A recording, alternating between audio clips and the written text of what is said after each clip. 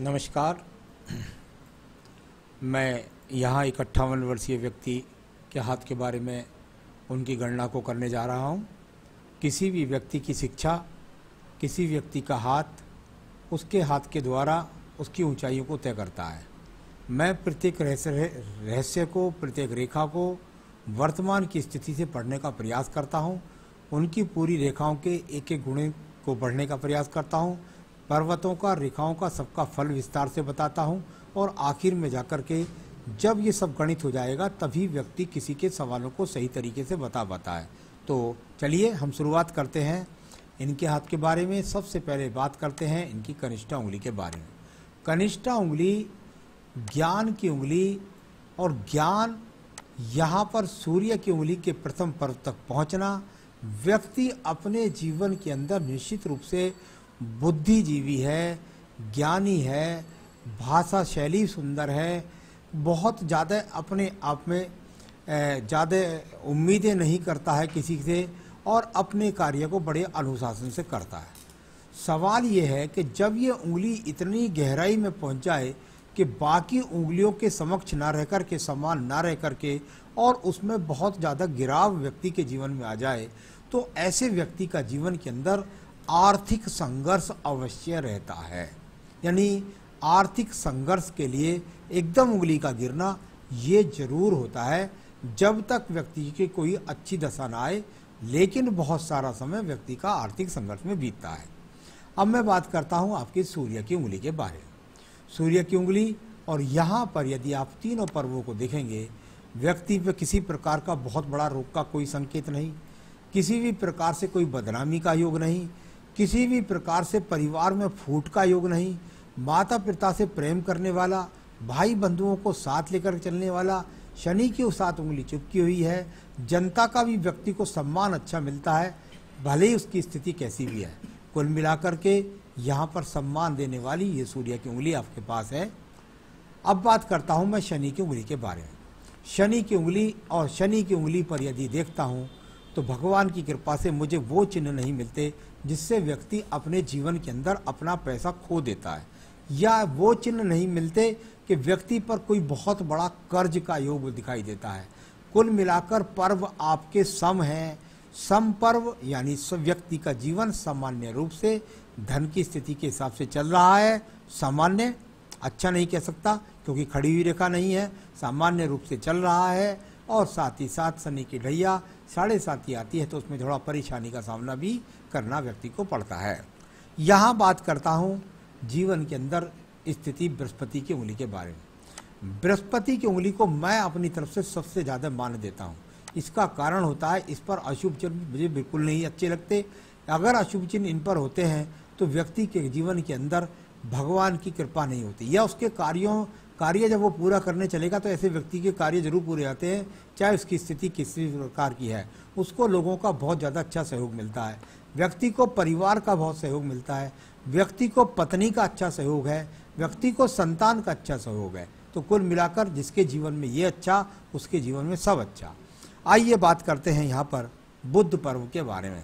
बुद्ध का पर्व और यहाँ बुद्ध के पर्व पर दिखेंगे तो बहुत माइनर सी छोटी छोटी रेखाएँ बूंद बूंद ड्रॉप ड्रॉप के रूप में खड़ी हुई है। यानी ड्रॉप ड्रॉप की बूंद यदि व्यक्ति के हाथ के अंदर खड़ी हो तो धन के आगमन भी ड्रॉप ड्रॉप जैसे ही होते हैं। भाई, बूंद बूंद करके मुझे जो है मिल तो रहा है, लेकिन एक कभी बाल्टी भी तो भरे एक तरीके से। वो बूंद बूंद भरता है, इतने पता लगा, इतना बूंद तो व्यक्ति को लगा लगा हवा से या धूप से सूख जाता है। यानी कुल मिलाकर जीवन की आवश्यकताओं के लिए जो बहुत अच्छे धन की स्थिति व्यक्ति को चाहिए, वो यहाँ पर कहीं भी मिलती नहीं दिखाई देती। अब मैं बात करता हूँ सूर्य पर्व के बारे में। सूर्य का पर्व बिल्कुल हल्का सा दबा हुआ और किसी भी प्रकार से कोई बहुत मज़बूत रेखा न तो नौकरी की है, न व्यापार की है, न विदेश यात्री की है, न ही किसी प्रकार से राजनीतिक क्षेत्रों की है। पर्व सम है अशुभ चिन्ह नहीं है, यानी कुल मिलाकर जीवन के ठीक है, सम्मान मेरे पास है। बस अपने जीवन के अंदर बहुत ज़्यादा ऊंचाइयाँ मेरे पास नहीं हैं और किसी प्रकार की योज बहुत ज़्यादा यात्राएँ नहीं है, विदेश यात्राएँ नहीं हैं, कोई राजनीतिक लाभ नहीं है, बस इस प्रकार को दिखलाने वाला ये पर्व आपका है। मैं बात करता हूँ शनि के पर्व के बारे में। शनि का पर्व और शनि के पर्व पर भी मज़बूत रेखाओं के रूप में रेखा नहीं। हमेशा मैंने कहा कि बृहस्पति शनि पर्व जो है, इस पर कोई ना कोई रेखा खड़ी होनी अनिवार्य है। आपके बुध पर्व पर कोई ना खड़ी हो, आपके सूर्य पर्व पर ना खड़ी हो बृहस्पति पर ना खड़ी हो, कोई बात नहीं है, लेकिन शनि पर्व पर खड़ी होनी अनिवार्य है। इसका कारण है, शनि पर्व पर रेखा खड़ी होगी तो पर्व पर खड़ी हुई रेखा, अगर दो रेखा यहाँ खड़ी है मजबूती के साथ तो नीचे कर्म रेखा की ज़रूरत नहीं है।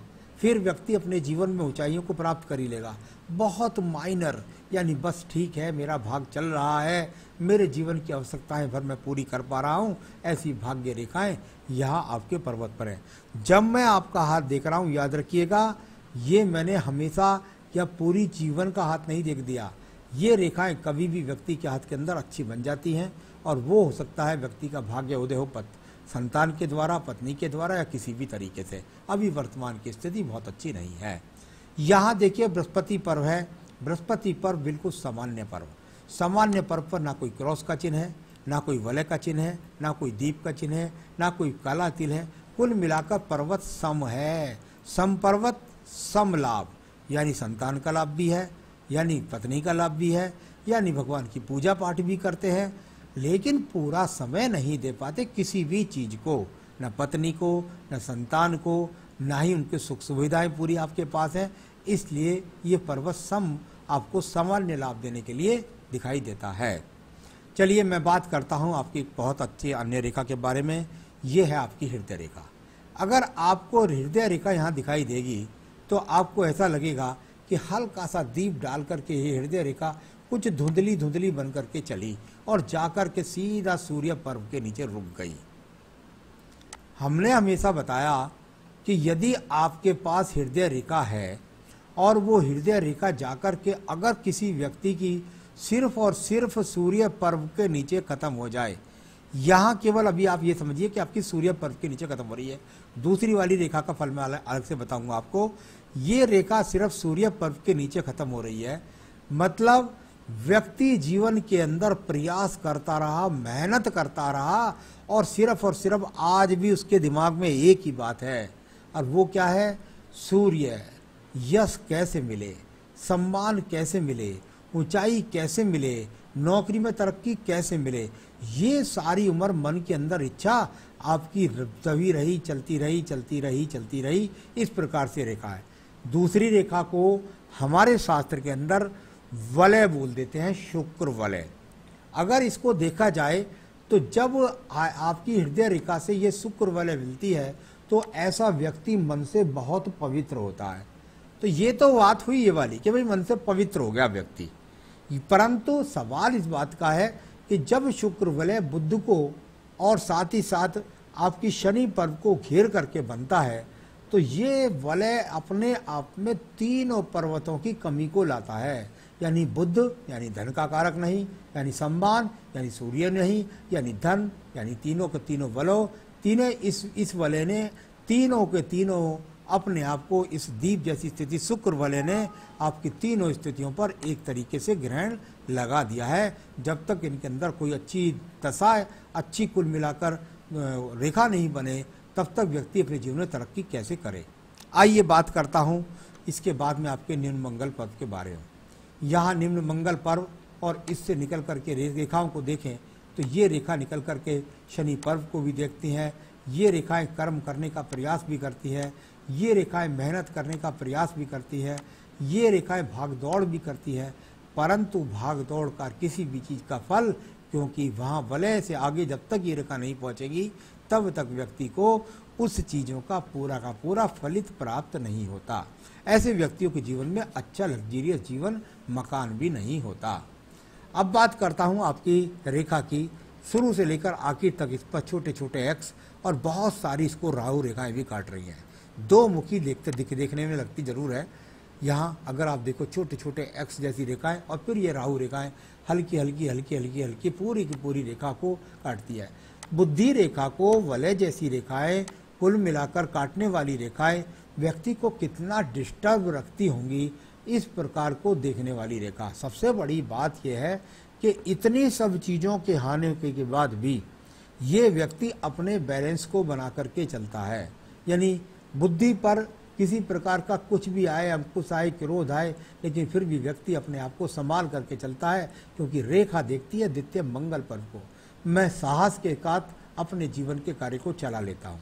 द्वितीय मंगल पर्व, किसी भी प्रकार का कोई झगड़ा नहीं, कोई झंझट नहीं, कोई मुकदमा नहीं, कोई एक्सीडेंट नहीं, पूरा का एकदम साफ़ है मंगल आपका। तो किसी प्रकार की विदेश यात्रा भी नहीं, किसी प्रकार का लॉटरी योग भी नहीं। तो यहाँ ये मंगल पर्व अपने आप में इस तरह के फल को बताता है।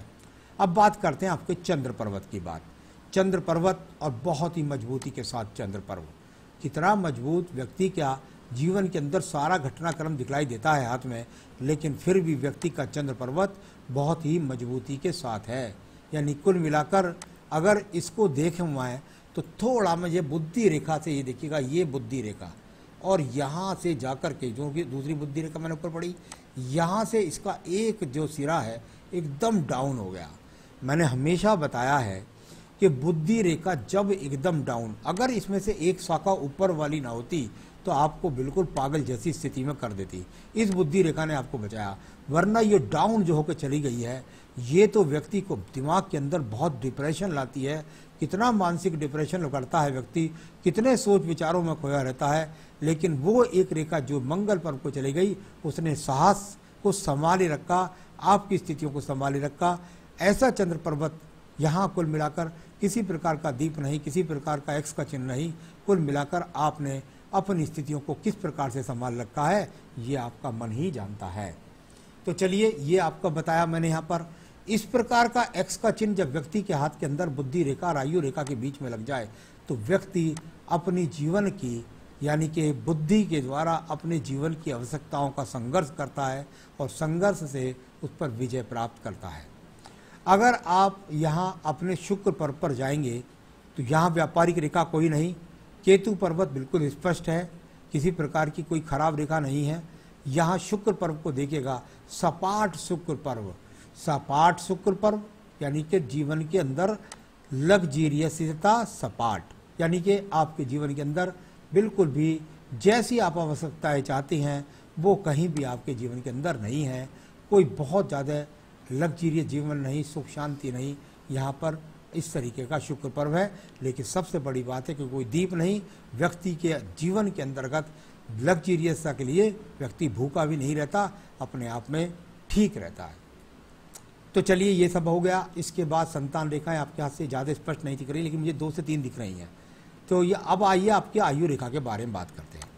अगर आप अपनी आयु रेखा को देखेंगे, मंगल रेखा थोड़ी साहसिक रूप से है तो यहाँ जब आपने मुझे अपने हाथ का रेखा भेजी है तो यहीं आपके जीवन का लगभग लगभग पचपन वर्ष खत्म हुआ है। पचपन वर्ष के बाद आपकी आयु रेखा बिल्कुल इससे पहले धुंधली रही आखिर में। यहाँ सर्जरी चिन्ह मुश्किलों के चिन्ह, सर्जरी चिन्ह का मतलब मुश्किलों के चिन्ह। अगर आपके यहाँ देखेंगे तो इस जगह से इस जगह तक मुश्किलों के चिन्ह। यानी ये आपके जीवन में आज से नहीं, पूरे जीवन में संघर्ष रहा। और यहाँ जब आप बात करते हैं, अभी अट्ठावन वर्ष की तो इसके बाद बहुत स्पष्ट सुंदर रेखा आपके जीवन की गई।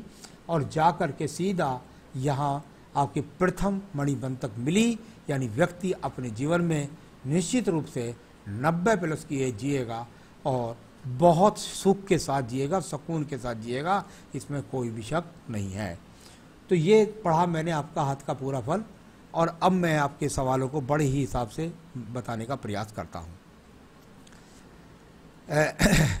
मैं अब सम्राट की तरह जीवन जीते हुए मोक्ष आत्म सच्चार से आगे की यात्रा अपनी इच्छा से से शरीर छोड़ना क्या आगे ऐसा योग है? उपाय बताएँ। देखिए सर, मैं बताता हूँ सबसे पहले। मुझे ये तो नहीं पता, मैं आप इतना इतना विद्वान नहीं हूँ, लेकिन मणिबंध की रेखाओं को देखिएगा। मैंने मणिबंध की रेखाओं को बताया, यदि किसी व्यक्ति के हाथ के अंदर स्पष्ट मणि रेखाएँ मणिबंध रेखाएँ हों और चार मणिबंध रेखाएँ हों तो व्यक्ति के हाथ के अंदर सम्राट योग होता है। सम्राट योग का मतलब राजा बनने का नहीं होता। सम्राट योग का मतलब राजा के अलावा दूसरा होता है और वो दूसरा ये होता है कि व्यक्ति अपने जीवन में अपनी कामनाओं पर विजय प्राप्त करना। आपके पास ये योग है, मैं शर्त लगाकर कह सकता हूँ, मैं तो आपको ज्ञान नहीं दे सकता, लेकिन आप उस राह पर जा रहे हैं और निश्चित रूप से, क्योंकि आपके केतु पर्वत पर भी किसी प्रकार के बुरे चिन्ह नहीं, बृहस्पति पर भी किसी प्रकार के कुछ चिन्ह नहीं, मोक्ष यानी शुक्र जो है वो भी समतल है, किसी प्रकार के ज़्यादा भोग में नहीं पड़ते हैं। आप अपनी जितनी भी लिमिटेड है, उसके अंदर काम करते हुए और निश्चित रूप से मौत आत्मसाक्षात को प्राप्त करेंगे, ये बहुत शानदार आपका हाथ मेरे सामने है और ये आपकी निश्चित रूप से कामना पूर्ण होगी। आपने कहा, अगर अगर नहीं तो कौन सा मार्ग खुलने वाला है? विस्तार से उपाय बताएँ।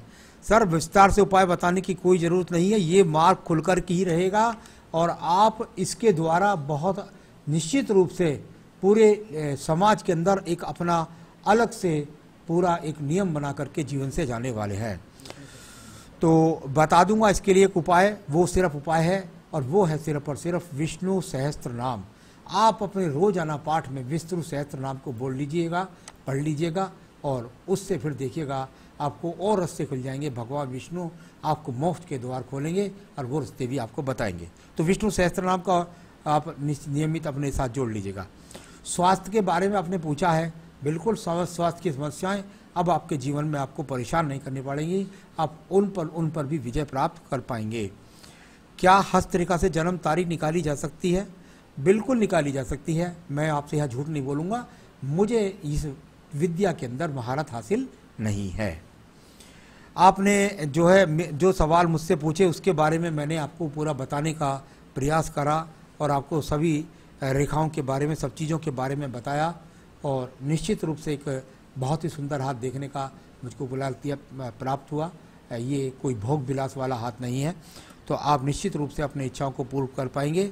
किसी व्यापार के बारे में आपने मुझसे पूछा है तो निश्चित रूप से कहीं साइड में आप कृपया करके किसी व्यापार के अंदर ना पढ़ें वहाँ से आपको कोई लोभ नहीं मिल, लाभ नहीं मिलने वाला है।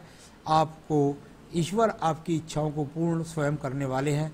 आप उस तरफ़ पूरा पूरा ध्यान लगाइए। बड़े मनन के साथ अपनी नौकरी को प्रेम से करते हुए जीवन में बिल्कुल सतग्रस्त आश्रम के साथ में जो मोक्ष की प्राप्ति है, उसको आप प्राप्त करें। यही मेरी शुभकामनाएँ भी हैं। नमस्कार। कोई रतन पहनने की ज़रूरत नहीं यही पूजा करें। नमस्कार।